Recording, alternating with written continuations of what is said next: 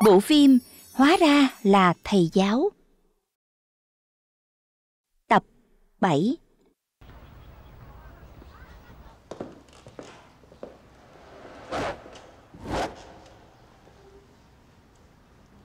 Hiệu trưởng Ngang Các phụ huynh đâu rồi ạ? À? Bọn họ có tỏ thái độ gì không? Có cần chúng ta phải làm gì không? Giải quyết xong cả rồi, Thầy hướng có thể yên tâm ở lại trường rồi Chỉ chỉ cần giải quyết thế thôi sao? Ừ Thư ủng hộ của học sinh đã nói rõ vấn đề Cũng chính là câu trả lời tốt nhất với các phụ huynh Cậu và tôi dạy học nhiều năm như vậy Đã từng nhận được cái này bao giờ chưa? Không, không phải đây Ngưỡng mộ đúng không?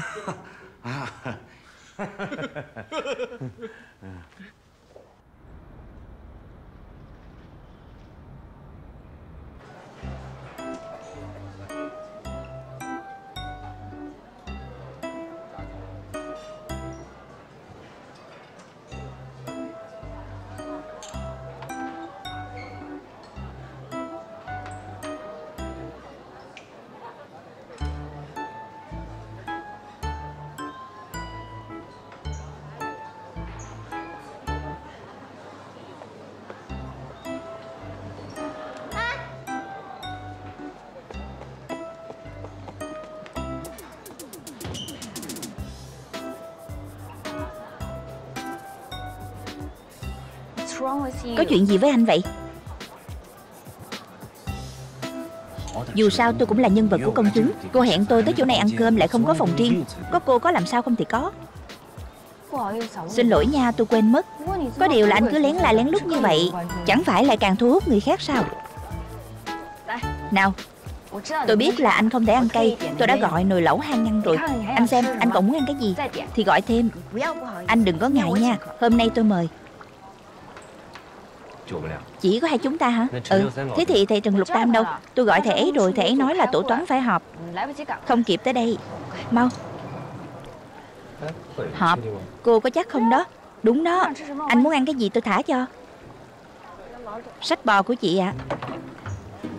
À. Sách bò của tôi.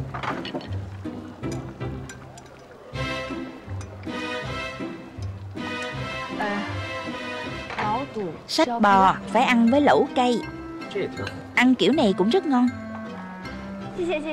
Cảm ơn cảm ơn. Giòn giòn, tê tê. Ruột ngỗng giòn.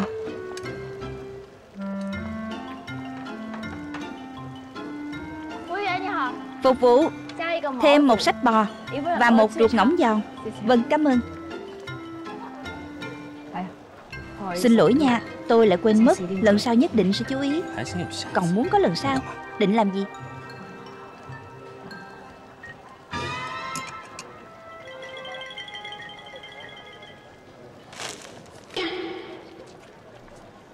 Đây là cái gì vậy?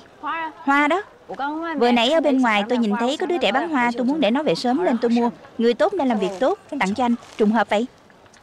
Cầm lấy đi. Tôi nghĩ là sắp tới tôi nên tìm nhiều quán ăn nhỏ kiểu ban đêm không có người. Để tiện chúng ta lần sau hẹn tiếp. Còn muốn có lần sau?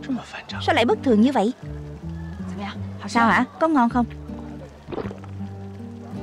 Ngon lắm đó. Cô nếm thử đi. Ruột ngỗng đi.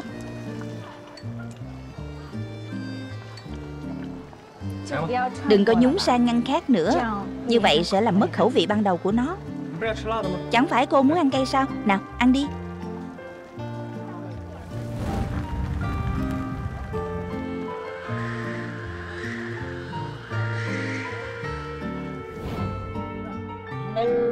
Không?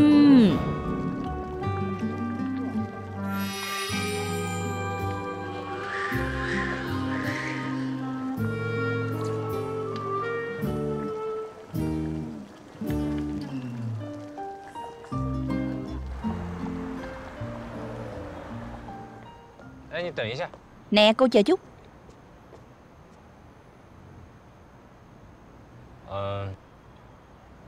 Tôi sẽ không chuyển nhà. Ừ. Tôi sẽ không rời khỏi trường học. Ít nhất sẽ không thay đổi theo thời hạn của hợp đồng. Ừ.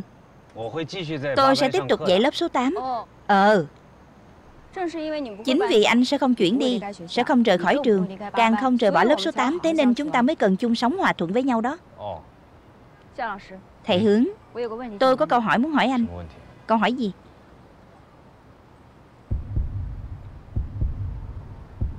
Thôi bỏ đi.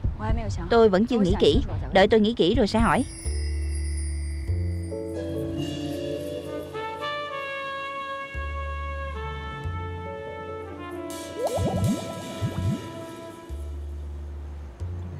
Không phải chứ. Đừng nói là Có tình cảm với mình nha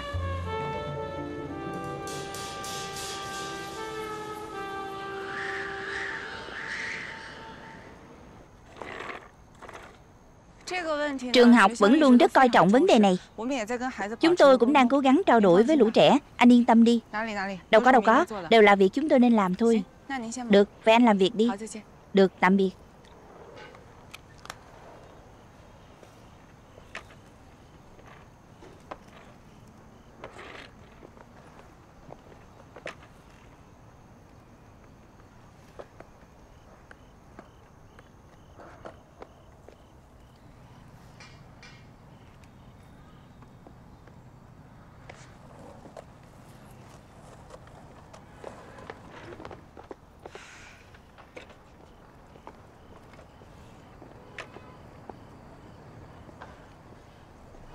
Trùng hợp quá. Sao anh lại ở đây? Uống chút nước trước đi. Cảm ơn.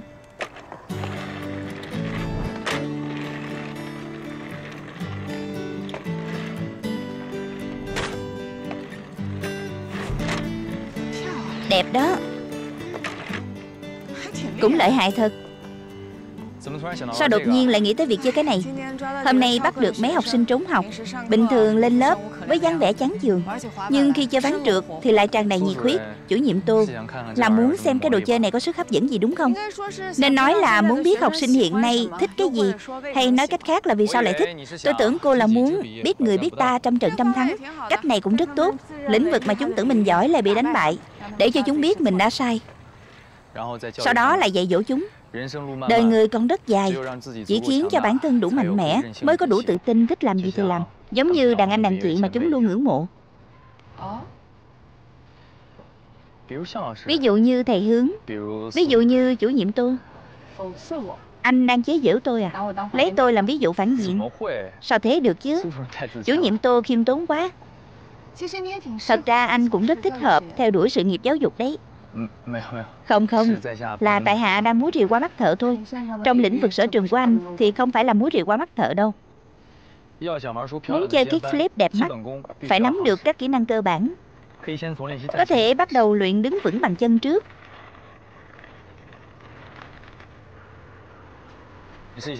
Cô thử xem. Hướng này đi. Ok không? Ok thử đi Cẩn thận. Đi, đi được không? Được.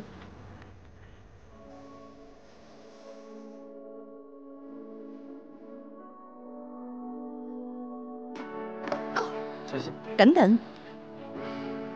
Chơi ván trượt không được nóng vội Nếu không sẽ bị ngã ngay. Có thể bắt đầu từ việc nắm được sự cân bằng trước. Cứ có mục tiêu là muốn mau chóng hoàn thành. Có lẽ đây chính là khuyết điểm của tôi. Điểm này của cô rõ ràng là ưu điểm. Tôi nghi ngờ cô đang tự khen mình. Tôi có cần phải tự khen mình không? Xin lỗi.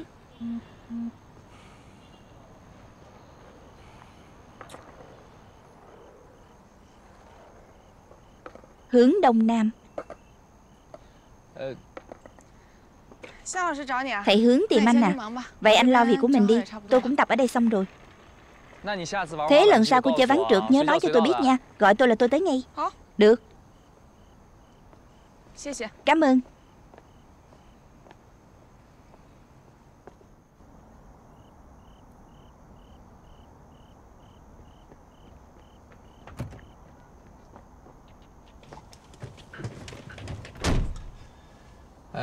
SOS là tín hiệu khẩn cấp Chứ không phải là kênh tư vấn tình cảm Không phải là thứ tình cảm chết người Chả phải là SOS sao Anh nghi ngờ cái cô khó tính lạnh lùng đó Có phải là có ý đồ xấu với anh không Chứng cứ đâu Trong một ngày mà tính cách thay đổi hoàn toàn Cố ý tránh thầy Trần Chỉ mời một mình anh ăn lẩu Mà còn là nước lẩu cà chua nữa Cô ấy biết là anh không ăn cay Còn tặng anh hoa hồng Còn có cái gì Cậu cũng thấy là có vấn đề đúng không Ăn lẩu Anh không cần cổ họng nữa hả Anh ăn nước lẩu cà chua. Anh chỉ ăn chút thôi. Anh vẫn có tính tự giác của ca sĩ. Cậu yên tâm đi. Anh có thể thử thách thức giới hạn xem. Anh biết rồi anh không ăn nữa. Em nói về cô Tô ấy. Muốn biết một người phụ nữ Có phải là có ý với anh hay không? Anh có thể thử thách giới hạn của cô ấy sự tồn tại của anh là giới hạn của cô ấy. Anh có thể khoa trương hơn nữa Xem cô ấy có phản ứng thế nào. Cậu muốn anh đi nộp mạng thì cứ nói thẳng đi. Bạo lực của phụ nữ sẽ chỉ nhằm vào người mà họ thích. Vậy đánh là thương chữa là yêu thì là cái gì? Đó chỉ là cái cớ để phụ nữ đánh chúng ta thôi. Bình thường Sau khi chúng ta bị đánh xong Thì mới nghe được những lời nói ngọt ngào này. Và đồng thời đi kèm với nó Một câu danh ngôn khác xuất hiện là gì? Đầu giường đánh nhau cuối giường hòa Lâm Thanh Thanh Anh thấy hình như cậu rất muốn bị đánh nha.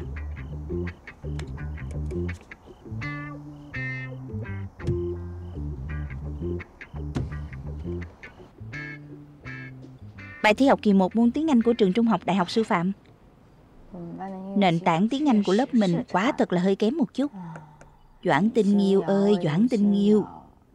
Em đây là làm sao thế？Thành tích kỳ trước không phải rất ổn định sao Đúng là việc này chưa xong việc khác đã tới rồi。Sao chuyện phiền phức không thể đến từng cái một chứ Bài thi môn tiếng Anh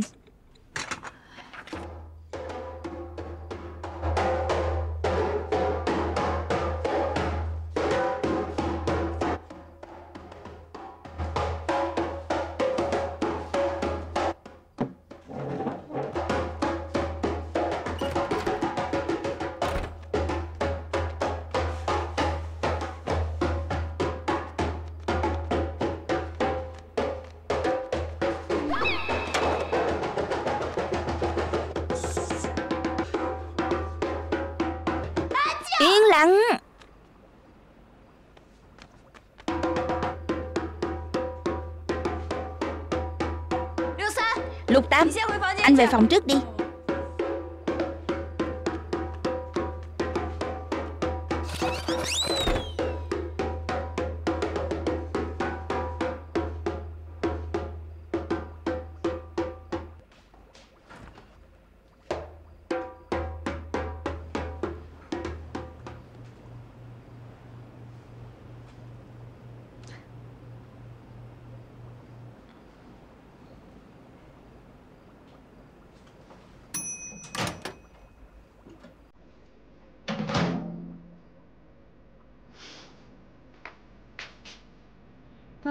Uống cốc sữa nóng, Ổn định cảm xúc có ích cho chất lượng giấc ngủ. Đi ngủ sớm đi. Uống hết sớm đi ngủ sớm. Buổi tối hưng phấn quá, dễ bị mất ngủ. Như vậy không tốt cho sức khỏe, Càng không tốt cho việc sáng tác.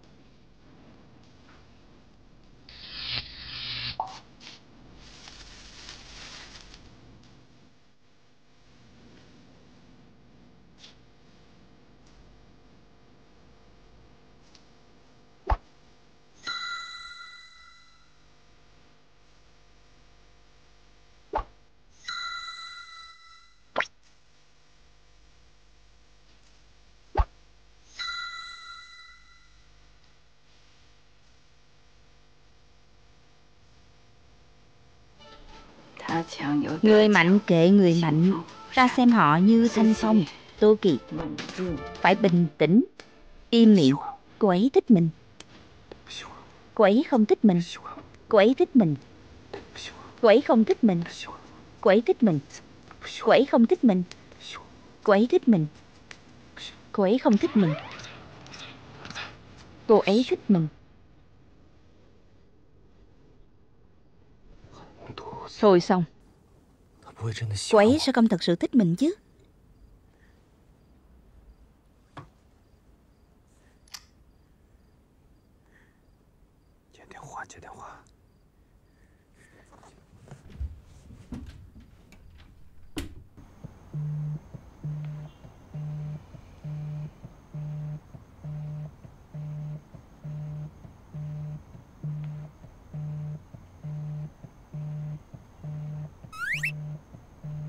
Bạn cùng bàn à Sao cậu không bắt máy đi? Bởi vì đều là cuộc gọi rác. Cuộc gọi rác? Chặn cuộc gọi không phải là được rồi sao? Không phải tất cả các cuộc gọi rác Đều bảo cậu mua nhà mua bảo hiểm. Có những cuộc gọi rác cậu không chặn được đâu. Đúng không Tại sao vậy? Người gọi cho cậu ấy không phải là chủ nhiệm khoa Thì cũng là anh cá sấu lớp thực nghiệm Cứ coi như số điện thoại của bọn họ vào danh sách đen Thì có thể cho vào danh sách đen sao?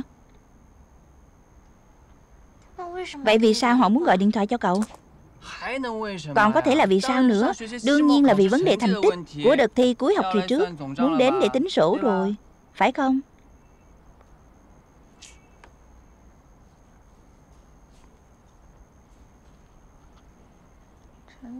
Thành tích kỳ trước là 92 Đến kỳ này là 66 Thành tích trượt dốc quá nhiều. Hướng đông nam. Eve. Eve. Eve.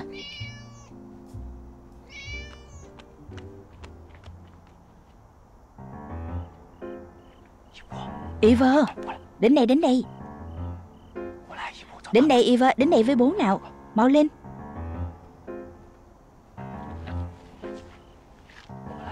Đến đây.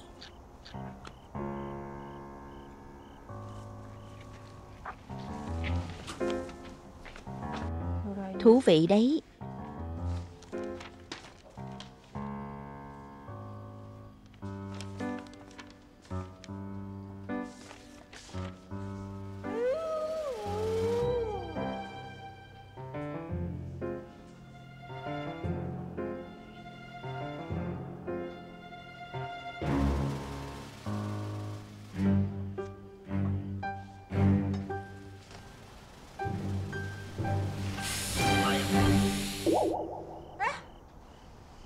Sao lại là anh? Chủ nhiệm à tôi tìm Eva. Anh mau vào nhà ngồi trước đi. Xin lỗi. Nha. Tôi đi tìm thuốc cho anh. Được cảm ơn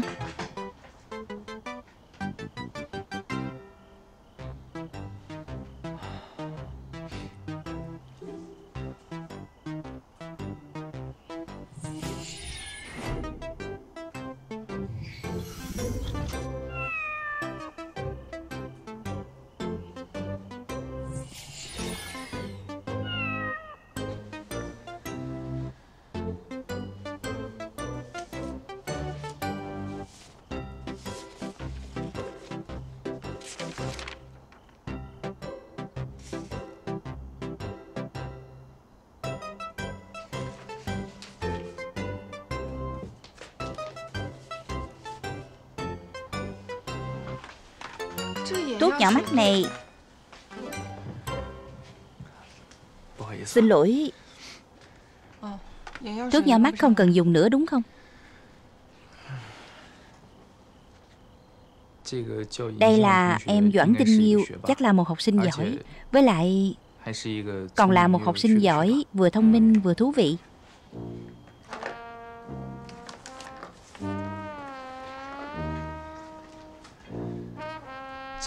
Những câu làm sai này đều đã được lựa chọn tỉ mỉ. Đặc biệt là ngữ văn và tiếng Anh. Những câu hỏi mang tính chủ quan rất dễ nảy sinh sự khác biệt về điểm số Nhưng em ấy hoàn toàn tránh được.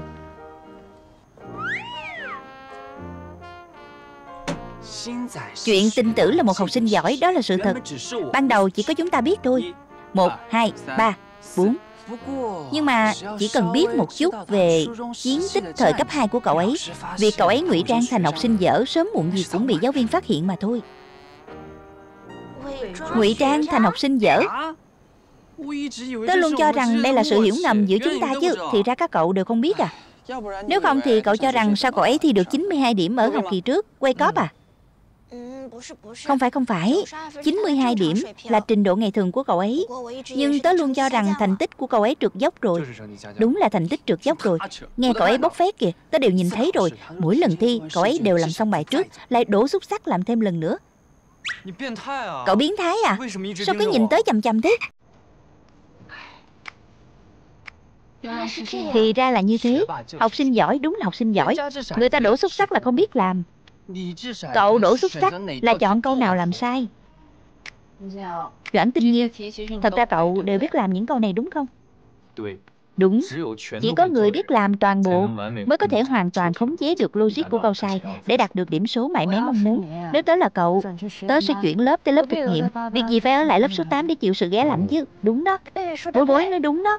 Bạn cùng bàn, thành tích của cậu tốt như thế, sao không chuyển tới lớp thực nghiệm? Giống như anh Phí Đặc, tốt biết mấy. Không tốt chút nào hết.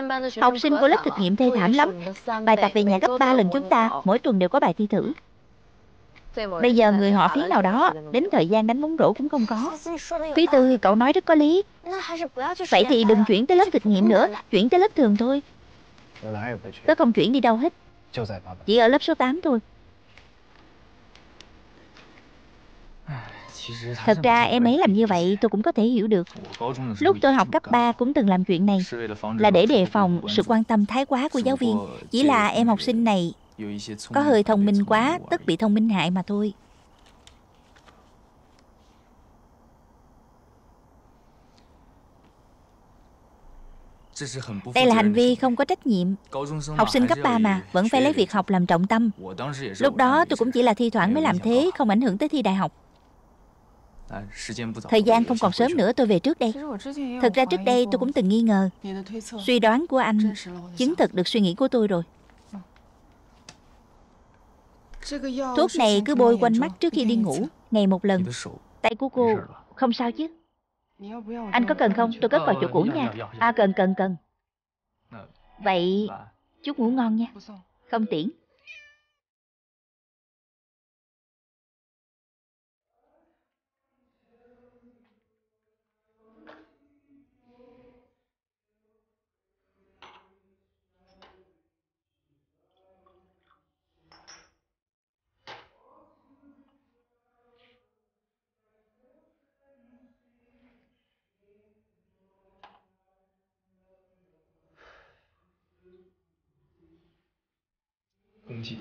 Độ công kích giảm xuống 10%.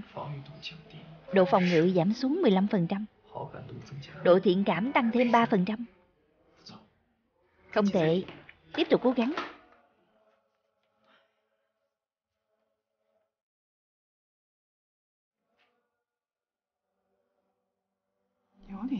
Thú vị đấy.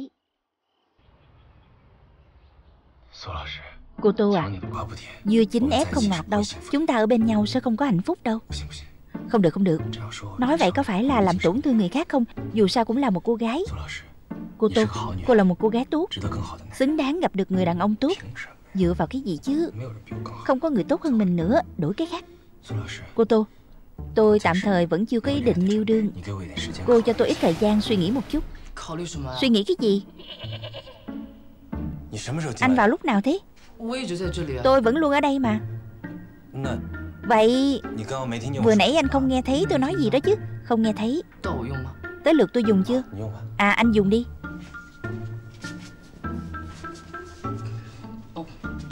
Đúng rồi. Cô Tô tới trường rồi. Anh chỉ có thể nói với cô ấy vào buổi tối thôi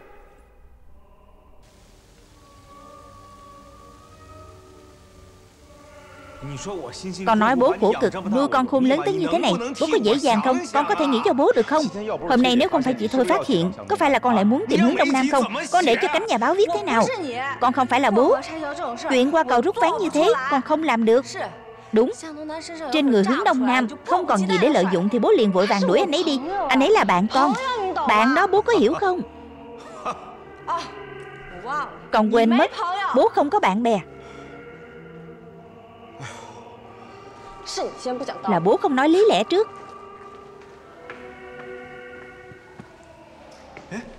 Sao vậy? Lại cãi nhau với giám đốc vệ à? Không liên quan tới anh. Em bớt giận đi. Thế này đi Anh dẫn em đi ăn. Ăn tôm hùm đất mà em thích ăn nhất. Không cần đâu. Mà em cũng không tức giận. Đi đâu đó? Đi tìm Đông Nam mà Sao hả? Anh cũng muốn quản lý em à không có. Chỉ là Đợt trước Đông Nam không dễ gì khuyên được cánh nhà báo rút về tuyên bố quyết tâm làm giáo viên của mình. Bây giờ em đi tìm cậu ấy. Không phải, lại đẩy cậu ấy vào đầu sóng ngọn gió sao? Em chắc chắn làm thế này tốt cho cậu ấy à?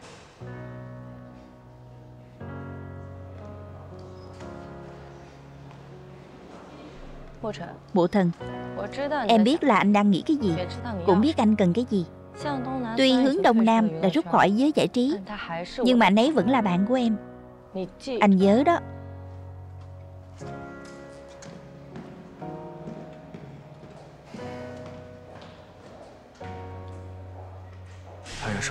Cậu ấy cũng là bạn của tôi Doãn Tinh Nghiêu của lớp số 8 khối 10 Bắt đầu từ học kỳ trước Đã luôn là đối tượng được quan tâm đặc biệt ở phòng giáo vụ. Mặc dù chúng ta đã bàn nhiều về học sinh này Nhưng vì học kỳ này thay đổi đội ngũ giáo viên mới Cộng thêm sự biến động của thành tích cuối kỳ Nên vẫn cần phải đưa ra thảo luận thêm. Phân tích của chủ nhiệm đã rất rõ ràng rồi. Doãn Tinh Nghiêu là một hạt giống tốt Chỉ là học kỳ trước Gieo nhầm ruộng thôi. Nếu như cần chuyển lớp Lớp số 7 sẵn sàng nhận bạn Doãn Tinh Nghiêu. Nếu như xác định cần chuyển lớp Thì phải tranh thủ thời gian Hiện tại chúng ta bắt đầu năm học mới được một khoảng thời gian Nếu không tranh thủ thời gian thì chắc chắn Không theo kịp tiến độ của các lớp khác Doãn Tinh Nghi cũng rất thích hợp tới lớp khoa học xã hội Dễ theo kịp nội dung của lớp chuyên khoa học xã hội Chuyển lớp Đúng vậy Vậy chắc chắn phải chuyển chứ Tôi nói thật nha không khí học tập của lớp số 8 khối 10 thật sự không thể sánh được với những lớp bình thường khác. Gần mực thì đen, gần đèn thì sáng. Dù kiến thức cơ bản của Doãn Tinh Nghiêu tốt tới đâu cũng sẽ bị ảnh hưởng. Vốn thành tích của lớp duy nhạc đã kéo thành tích trung bình của trường chúng ta xuống thấp, nên không thể để tương lai của học sinh Doãn Tinh Nghiêu đi đâu cũng có thể theo học được hết. Rất có thực lực đó, được không hả? Lớp duy nhạc chính là lớp bình thường, không bình thường ở chỗ nào. Lớp số 8 làm gì mà kéo thấp điểm trung bình xuống chứ? Chắc chắn phải chuyển. Trường trung học sư phạm của chúng ta là một ngôi trường quan tâm và có trách nhiệm với tương lai của học sinh. Một hạt giống tốt như vậy, sao có thể để em ấy chọn nhầm đường trên ngã rẽ cuộc đời chứ? Nếu như em ấy tiếp tục ở lại lớp chuyên nhạc, thì tương lai của em ấy coi như xong rồi. Trường trung học sư phạm tuyệt đối không cho phép chuyện như thế xảy ra. Doãn Tinh Nghiêu là học sinh của lớp số 8 Vậy ý kiến của giáo viên chủ nhiệm lớp số 8 thế nào? Em à Em không phải là chủ nhiệm lớp số 8 Vậy ý kiến của cô Tô là thế nào? Em Em không có ý kiến gì. Em tôn trọng mọi quyết định của nhà trường. Cô Tô, Nếu cuối tuần gọi em tới trường Là để khuyên em chuyển lớp. Vậy thì em về đây. Em chờ chút với thành tích của em, em có thể có lựa chọn tốt hơn. Không nhất thiết phải chọn lớp số 8. Lựa chọn tốt nhất của em là ở lại lớp số 8. Nhưng lớp số 8 chưa chắc hợp với em. Em dựa vào thực lực của mình. Vào lớp năng khiếu âm nhạc tại sao không thích hợp chứ? Dù sao đi nữa Trường và cô khuyên em chuyển lớp Chắc chắn là muốn tốt cho em mà Thế nào gọi là tốt cho em Lẽ nào không phải tốt cho cô sao Trường bảo em chuyển lớp là giao nhiệm vụ cho cô Chứ không phải là cho em Cô Tô em xin về trước. Để tốt cho cô. Xin cô đừng khuyên em nữa.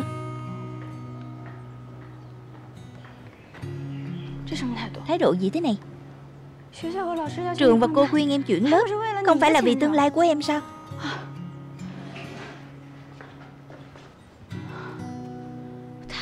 Khó quá đi mất. Làm khó tôi quá. Chủ nhiệm Tô Sao anh vào được đây Tôi vừa đi ngang qua đây. Đã điền vào giấy xin tiếp khách Ở phòng bảo vệ ngoài cổng trường Vào bằng con đường hợp pháp. Một cốc flat white size M Sữa tách béo và đậm đặc gấp đôi. Mời cô dùng. Không cần, cảm ơn. Thật ra tôi muốn hỏi Tôi có thể giúp gì không？Tôi có chứng chỉ chuyên gia tâm lý bậc 3 Có lẽ có thể giúp cho cô Là một bức tranh về tâm lý học sinh để tiện phân tích. Người cần anh giúp đỡ. Chắc là không ở đây đâu. Vậy cô cứ coi như tôi mua thêm việc vào người đi Tuy hôm nay là cuối tuần Nhưng mà sau này hãy cố gắng ít xuất hiện trong trường hơn. Dù sao anh cũng không phải là giáo viên trong trường. Được Vậy chủ nhiệm tôi đi làm trước đi.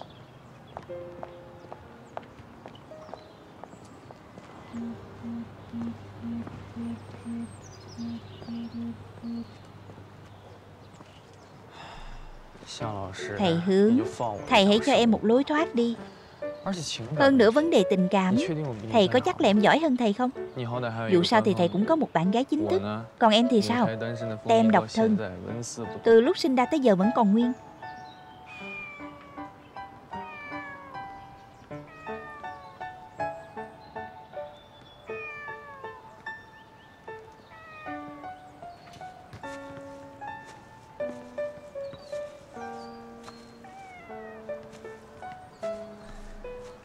Mimi.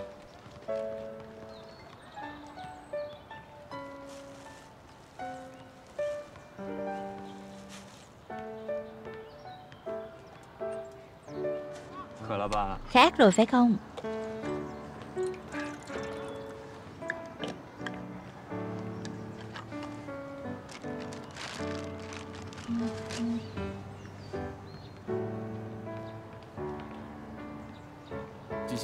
Viêm ruột thừa cấp tính, Mau tới ngay.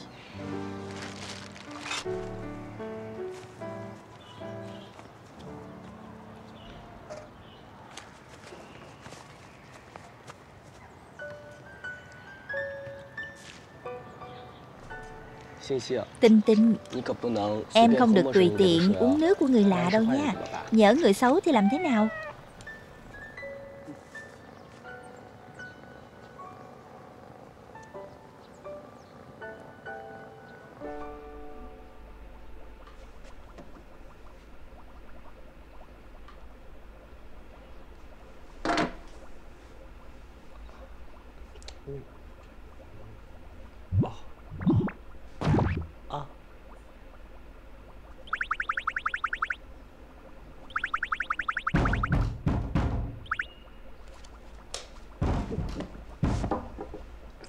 Đến ngay.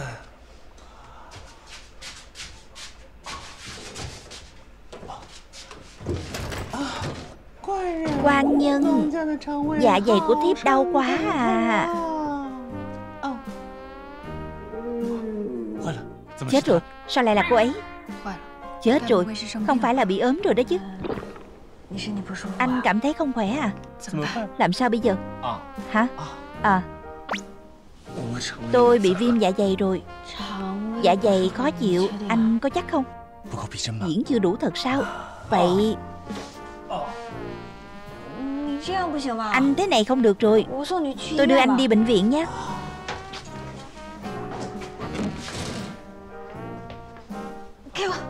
Đưa tôi, đi nào.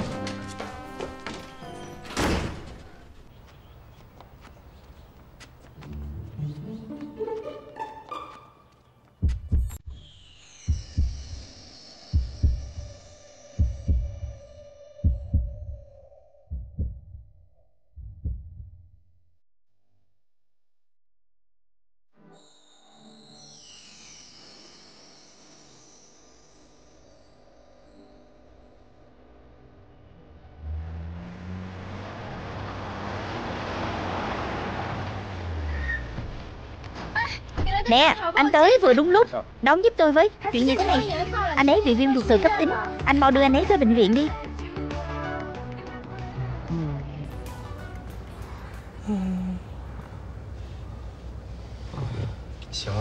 Được rồi đừng diễn nữa.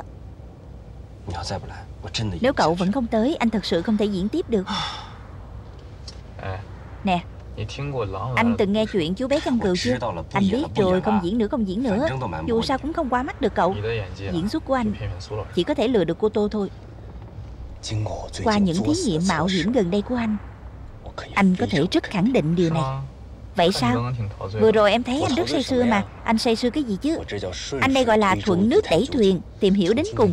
Bắt đầu từ hôm nay Anh phải cắt đứt những hoang tưởng của người phụ nữ này với anh Ngay từ trong trứng nước. Cắt đứt Ngồi yên đi.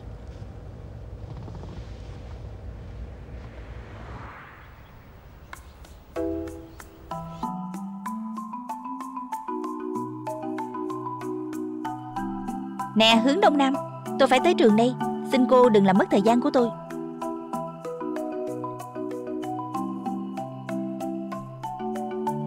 Hướng đông nam. Hôm nay là ngày tôi trực nhật. Xin cô đừng làm phiền tôi.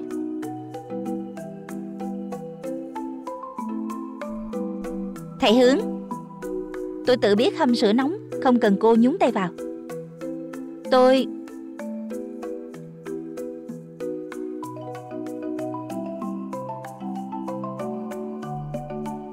Tôi đã nói thẳng như vậy rồi.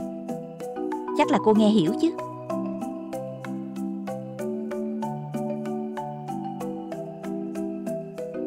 Chỉ là muốn thầy ấy xem giúp phần nội quy lớp mới được sửa đổi thôi. Mà khó như vậy sao? Gần đây quan hệ với bạn cùng phòng như thế nào? Tạm tạm thôi. Chị à Em cảm thấy em và thầy Hướng luôn lệch pha với nhau. Liệu có thể... Không được. Tiền thuê nhà rất đắt. Nếu như em không muốn ở Thì trả lại chị tiền thuê nhà. Chị Chị phải tin rằng mọi thứ trên thế giới này Đều có sự sắp đặt riêng của nó. Em chỉ cần sống tốt phần mình là được rồi. Hơn nữa Thầy hướng cũng không phải là không có gì đáng để học hỏi. Ví dụ buổi sinh hoạt lớp đặc biệt của thầy ấy. Còn về phương pháp quản lý lớp học Cũng còn có nhiều chỗ để cải tiến.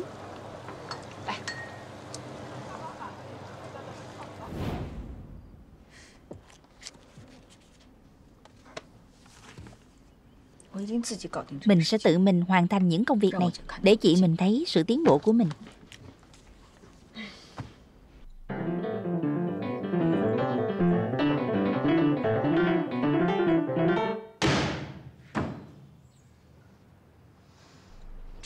Tiết này không thể dạy được.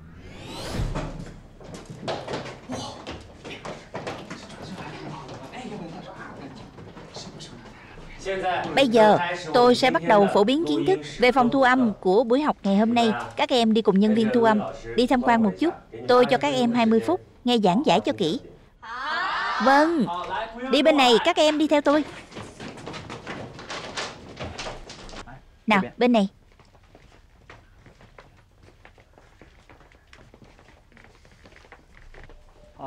Rồi các em đều vào trong rồi chứ. Phòng thu âm này chủ yếu sử dụng kính hút chân không để cách âm. Còn về tiêu chuẩn thiết kế âm thanh yêu cầu chất lượng âm thanh trong phòng thu chủ yếu là sự dễ hiểu của ngôn ngữ. Sau đó là sự tròn trịa của âm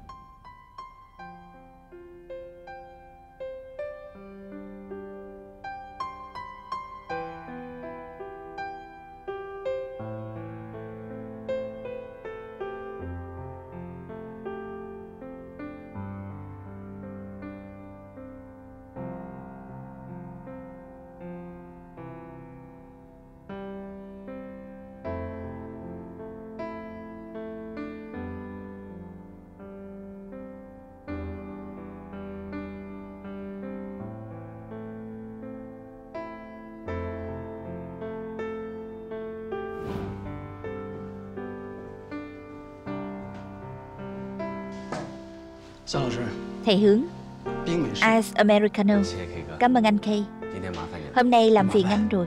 Có phiền gì đâu. Anh Hạ Cố tới đây lại mang theo rất nhiều nhạc sĩ trẻ trong tương lai tới. Đó là vinh dự của chúng tôi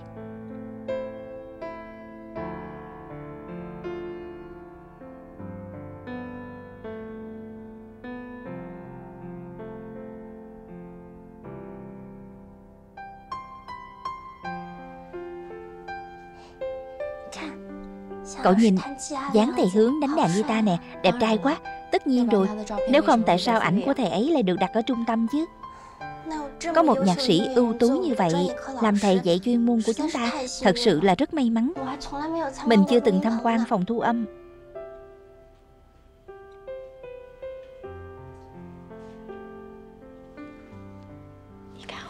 Cậu nhìn ra đằng sau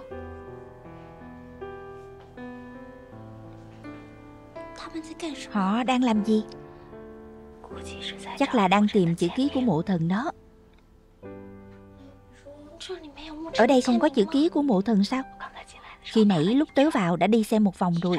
Đến một tấm ảnh cũng không có. Tất nhiên sẽ không có chữ ký rồi.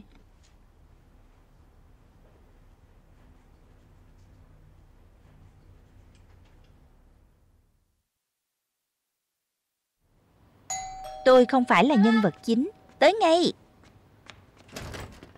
Chào cô. Có bưu phẩm của thiên tài 603 Cảm ơn anh. Không có gì. Thiên tài 603 Tên mà Lục Tam đặt thật tự mãn quá đi. Lục Tam à Bưu phẩm của anh nè. Cô Tô Tôi không mua đồ. Chắc là đồ của thầy Hướng. Bưu kiện của thiên tài 603 tới rồi hả đây là của tôi. Cảm ơn anh Lục Tam. Anh dạy tôi mua sắm trực tuyến. Nếu không tôi không biết trên thế giới này Có một thứ gọi là mua sắm trực tuyến. Tạo vật thổi khai thiên lập địa Thật sự rất rất rất rất hữu ích. Không đúng chỉ có một cái sao Chắc phải còn nữa chứ. Tuyệt đối không được để hướng Đông Nam biết cách mua sắm trực tuyến. Nếu không? thì hậu quả sẽ rất nghiêm trọng